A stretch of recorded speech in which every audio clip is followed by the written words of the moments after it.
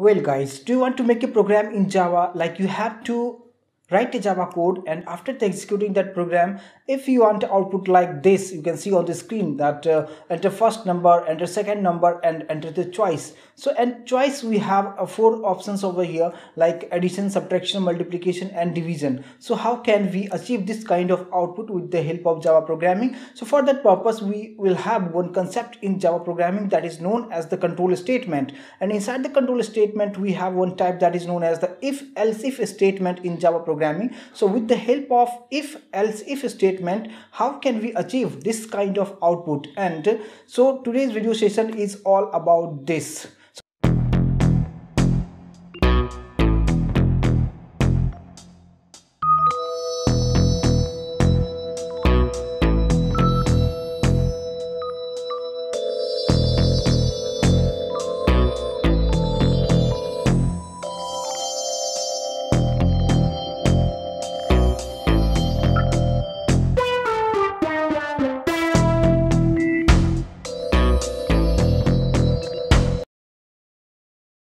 Welcome back my dear friends, my name is Nishant Kumar and let's go to the computer screen where I will show you each and every small detail about how can you achieve this kind of output in Java programming. So let's go to the computer screen now I have come to my computer screen and here I'm going to demonstrate one example like uh, a menu driven program with the help of if else if statement in Java programming. So here I need to uh, take some input from the user. So to do so we have to import a scanner class and here we need to write import java dot util dot scanner.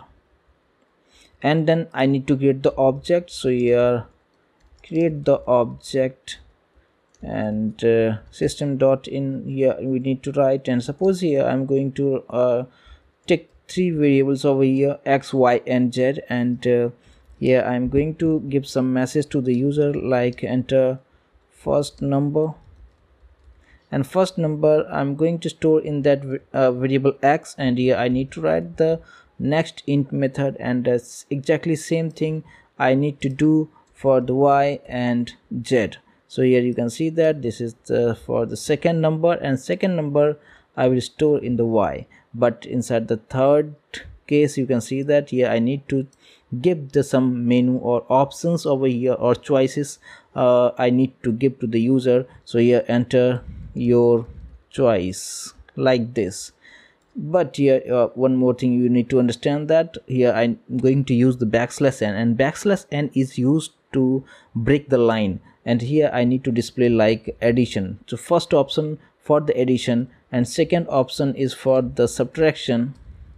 And third option is for the multiplication. And uh, fourth option is for division. And uh, all these choices I'm going to store in the variable z. Instead of z I will write choice. So it would be quite easy to understand. So that choice i'm going to store in that choice only. So now i need to check with the condition like if like choice equals to equals to 1 then i need to perform addition. So here system dot out inside the system dot out i need to type like uh, um, sum is or addition is and here we need to concatenate and here i need to write x plus y i need to perform. So here if this condition is true means if user has entered one as a option so this condition would be correct and then uh, you will get the sum age and whatever the value of x and y that uh, you will get the addition of that both the number.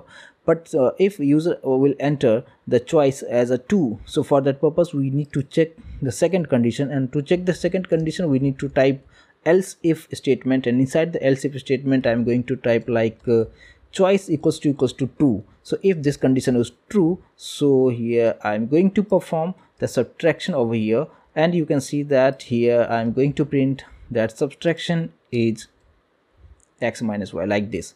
So exactly same way i need to do for the multiplication and for the division. And just here i need to change the choice like 3 and if uh, choices is 3 so here i'm going to print multiplication is x multiplication y and uh, last condition is 4 and here i'm going to print that division is x division y.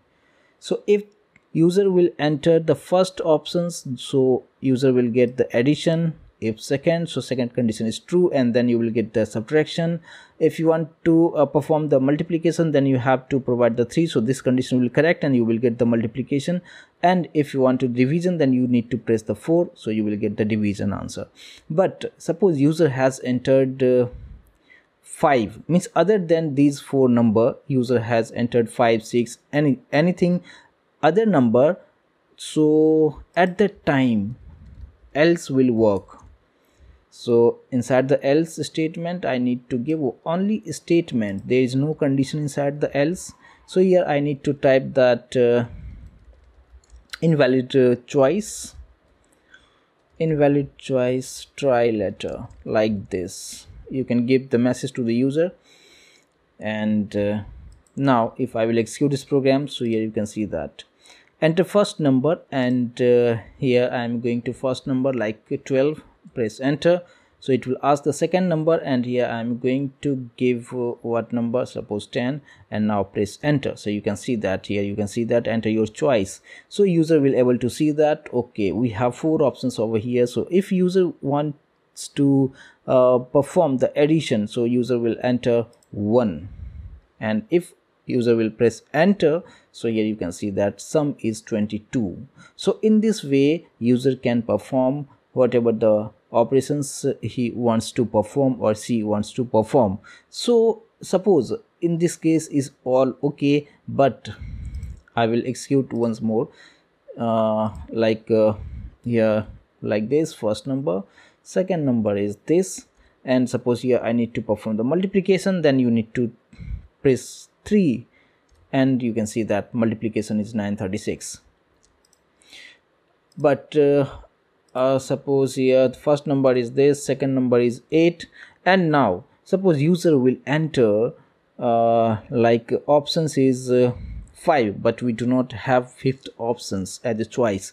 So if i will press enter so it will go inside the else statement and it will print that invalid choice try letter so this is the way that if we have multiple conditions so how can we check that? So this is the for the first condition second condition third condition and fourth condition. And all the conditions are not true then compiler will go inside this else statement and it will print that invalid choice try letter.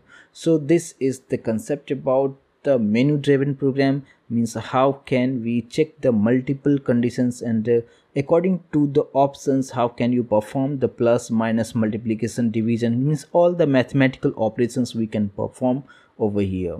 So i hope uh, all the points would be clear to you and uh, in the next video session exactly same program i am going to do but with the help of uh, switch statement. Here i am using the if else if statement but uh, how can we do the same exactly same program with the help of switch statement?